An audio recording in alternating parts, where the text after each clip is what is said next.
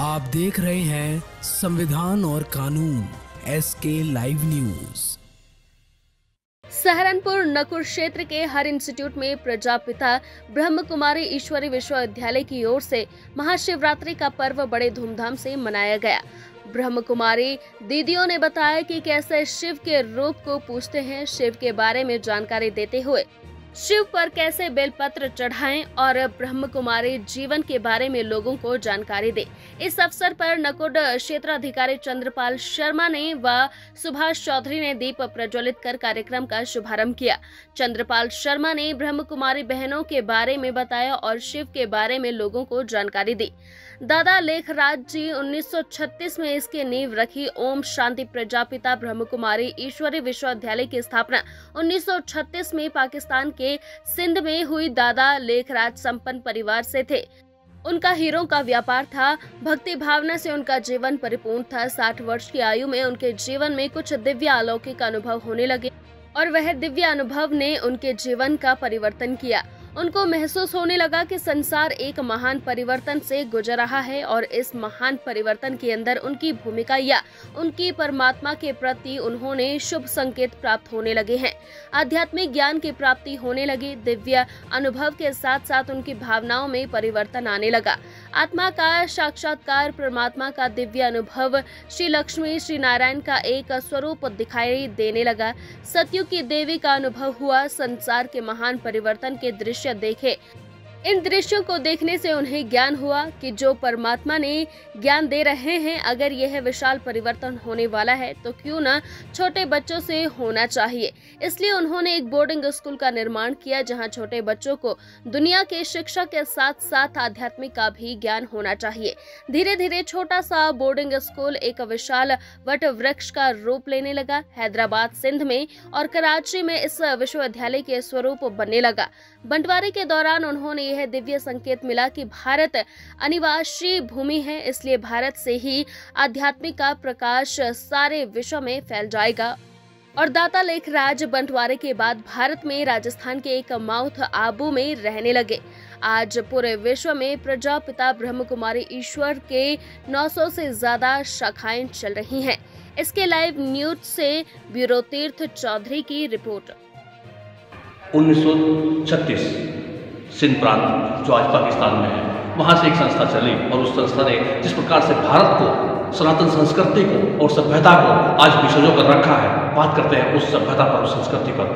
जी क्या पूरा नाम क्या है संस्था? का प्रजापिता ब्रह्मा कुमारी ईश्वरीय विश्वविद्यालय। जी कितनी शाखाएँ हैं पूरे भारत में? पूरे विश्व के 140 देशों में करीब पचासी सौ शाखाएँ हैं इस विद्यालय की। अच्छा क्या क्या मान्यताएँ हैं इस विद्यालय के काम करने का मुख्य उद्देश्य मानव के अंदर छुपे हुए उन्हीं मानवीय मूल्यों का, उन्हीं सद्गुणों का, उन्हीं नैतिक मूल्यों का, उन्हीं सामाजिक, शैक्षणिक, पारिवारिक मूल्यों का पुनरुत्थान करना है, जिन मूल्यों की कमी के कारण आज मानव मन तनाव में है। पीड़ित है, अवसाद है। भय में है, चिंतित है, निराश है, हताश है। सो विद्यालय का उद्देश्य है मन को सच्चा शांति से ओतप्रोत करना, सच्चे सुख का अनुभव कराना, सच्चे प्यार का अनुभव कराना।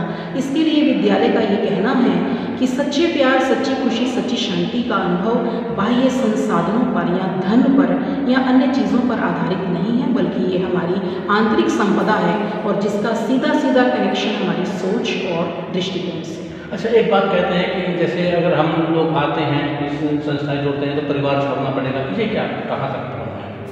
हमारे यहाँ आने वाले लाखों भाई बहने ऐसे हैं जो परिवारों में रहते हैं और परिवारों से ही प्रतिदिन ईश्वरीय विश्वविद्यालय में रेगुलर स्टडी करने आते हैं और इस ईश्वरीय विश्वविद्यालय के जो रेगुलर स्टूडेंट्स होते हैं, वो छोटा बच्चा, जवान, बूढ़ा, हर हर उम्र का होता है। सो इस विद्यालय में घर छोड़ना नहीं सिखाया जाता, बल्कि घर गृहस्थ में रहते हुए हम परमात्मा से बुद्धि योग लगा करके कैसे गृहस्थ को आश्रम बना सकते हैं, ये सिखाया तो आज आज क्या मनाया गया है आज पूरे भारतवर्ष में मनाया जाने वाला महाशिवरात्रि पर्व जो पूरा भारतवर्ष 18 फरवरी को मनाएगा सो विद्यालय कई दिन पहले इस पर्व को मनाना शुरू कर देता है।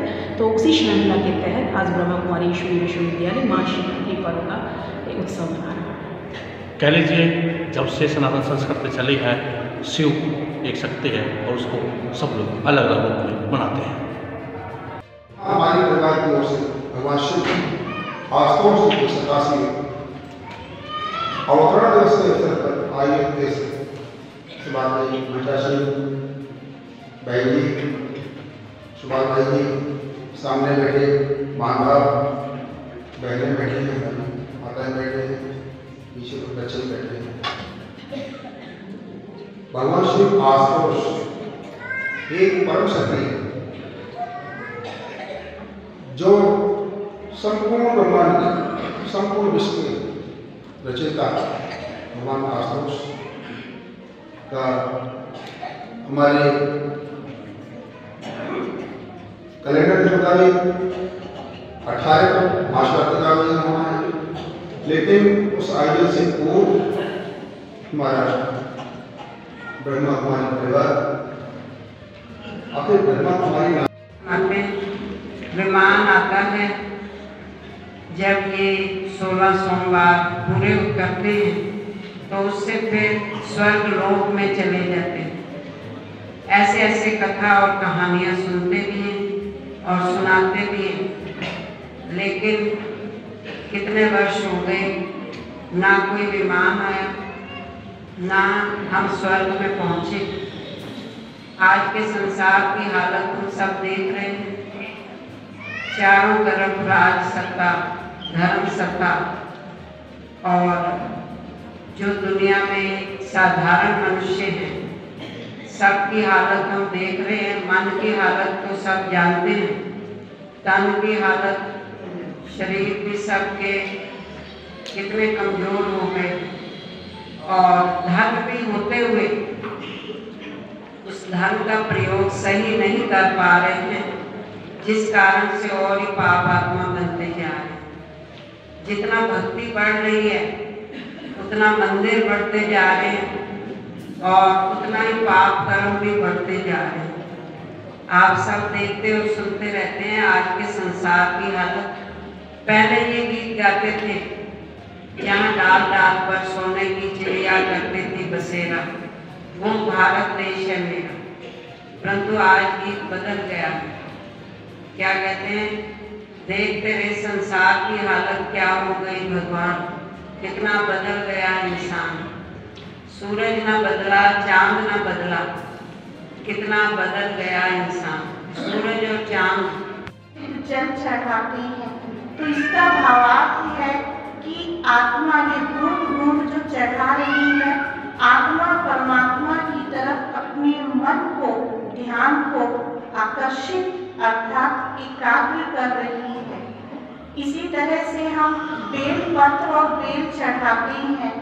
बेल आत्मा सालिग्राम की निशानी है।